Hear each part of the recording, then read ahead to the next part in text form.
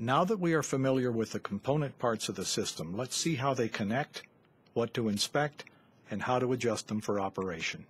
Beginning with the pump, make a visual inspection of the electrical cords, the remote control, the hydraulic hoses and connectors, gauges, and the general condition of the pump, looking for any damage or irregularities. Check the level and the condition of the oil in the reservoir. Remember, clear and amber colored, and do not overfill.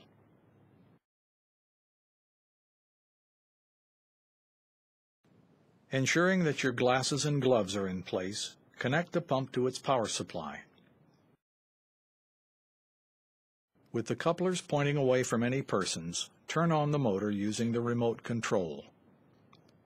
Look and listen for anything out of the ordinary.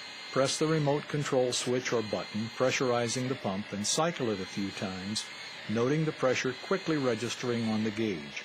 Each time you release the button, the gauge will read about 1000 psi, indicating the return pressure.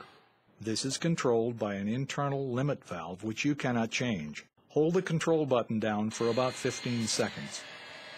The pressure on the gauge should hold steady as long as you hold the button down. If the needle bounces or the pressure bleeds off, there may be internal problems which require service. At this point, shut the pump off and check for leaks. Connect one or more sets of hoses to the pump. Since the couplers are all connected to the same oil supply, it makes no difference which pair you choose. Insert the hose end into the mating coupler, ensuring that it is completely seated with no gap. Hand tighten the threaded collar until it is fully engaged.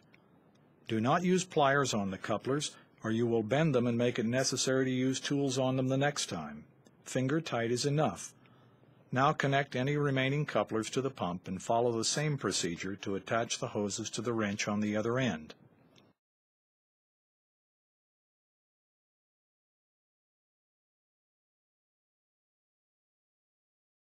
With the wrench in a stable place, not attached to a bolt, press and release the remote actuator button several times and observe the hoses stiffen and the wrench ratchet. If the hoses stiffen and the pump pressurizes, but the wrench does not ratchet, check the couplers. One has loosened or was not fully engaged.